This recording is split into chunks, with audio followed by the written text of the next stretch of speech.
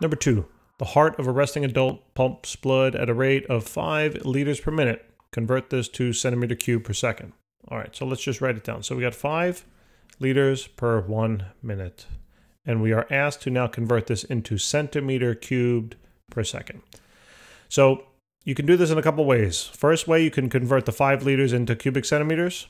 Then you can do one minute into second, and then you can divide the result if you wanted, or you can do it all at once. I'm going to do it all at once here. So it's going to be 5 liters per one minute.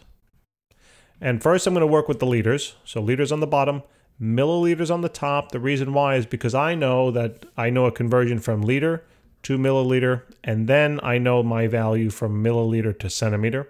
So that's my little map there. So now there's 1,000 milliliters for every liter. Liters go bye-bye. You're left with milliliters, but that's not what we want. We got to convert into cubic centimeters. So it's a one-to-one ratio. All right. You can also memorize it that for every liter, every liter there's a thousand cubic centimeters. That's fine too. All right. That'll work.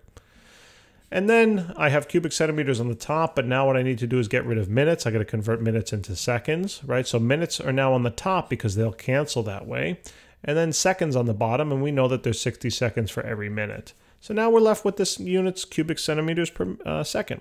So it's going to be 5 times 1,000, then divided by 60. So 83.3. So this is 83.3 cubic centimeters per second. Okay, so that takes care of letter A. And now letter B, it says, what is this rate in cubic meters per second?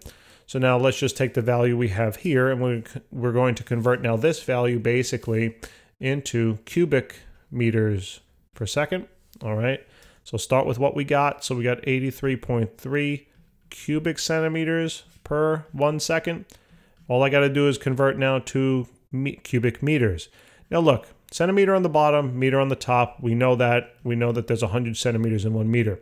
But now if we stop here, we got a problem. One centimeter here, and there are three there. So you can't stop there. Okay, what you can do though is you can do this again. 100 centimeters on the bottom, one meter on the top. Now you got a total of two centimeters on the bottom. Centimeter times centimeter here is centimeter squared. We're getting closer, right? Oh, wait, if I just do it one more time now, look, centimeter times centimeter times centimeter, centimeter cubed, you got a centimeter cubed on the bottom, and that's going to cancel the centimeter cubed on the top, right? So you can do this whole thing out three times if you wanted, or you can just condense this thing into now simply a cubed value. Watch, I'm just going to shift this on up slightly. So instead of doing it that way, it could just be 83.3 centimeter cubed all over one second times now centimeter on the bottom, meter on the top, one meter for every 100 centimeters, and then just cube this thing. Either way, you're going to get the same answer. All right. So take that value 83.33333, divide it now by 100 cubed. So it becomes now 8.33 times 10 raised to the negative 5. And that's now cubic meters per second. There you go. All right, voila. Guys, thanks for tuning in. Hope this helped. Please remember to help us out and subscribe. We look forward to helping you out on the next problem. Take care.